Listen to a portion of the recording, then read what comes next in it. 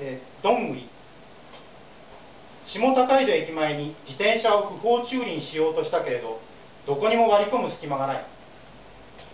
いつも置いている三井住友銀行下高井戸支店もぐるりと自転車でうずめ尽くされている。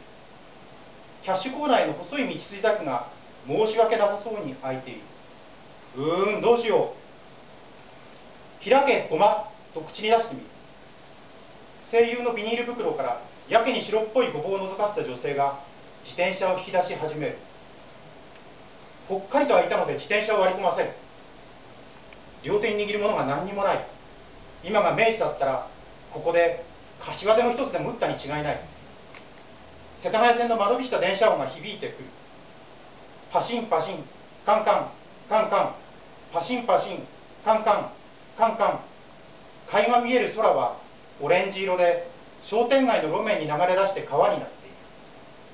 マクドナルドの開け放ったままの入り口までオレンジの川が影に切れ込んでいる。急に「やややこれは不思議」と口に出したくなってつぶやいてみる。それから辺りを見回してみる。マクドナルドの入り口のガラス扉の下どんぐりが一つ落ちていた。おおむね3列に並んでいる人たちはみんな斜め上のメニュー表に吸い込まれている。急いでかがみ込んでどんぐりを拾う。辺りを見回すけれど他には見当たらない。店内に林立する。足とも言えない木々の周囲。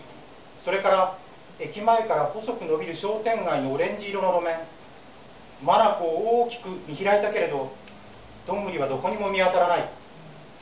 たった一つだけ落ちていたどんぐりのツヤツヤが一層輝き出す。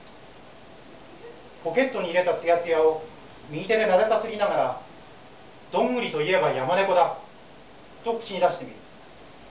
オレンジ色の夕焼けを背負って山猫コーヒー店に歩いている。下高井戸シネマでは天皇を撃とうとした男の映画が静かに始まっているようだ。これは奇怪なと口に出そうか。思いとどまってボクシングジムの前も口を結んだまま歩く。山猫コーヒー店はほとんどカウンターで客は1人だけメニューを開いてキューバと口に出してみる。するとというかやっぱり真っ白なカップに入ったキューバが一つ鼻の奥まで染み込むような香りを立ち上らせてやってきたからつやつやのどんぐりを温かなキューバの乗った皿の上に黙って乗せた、うん。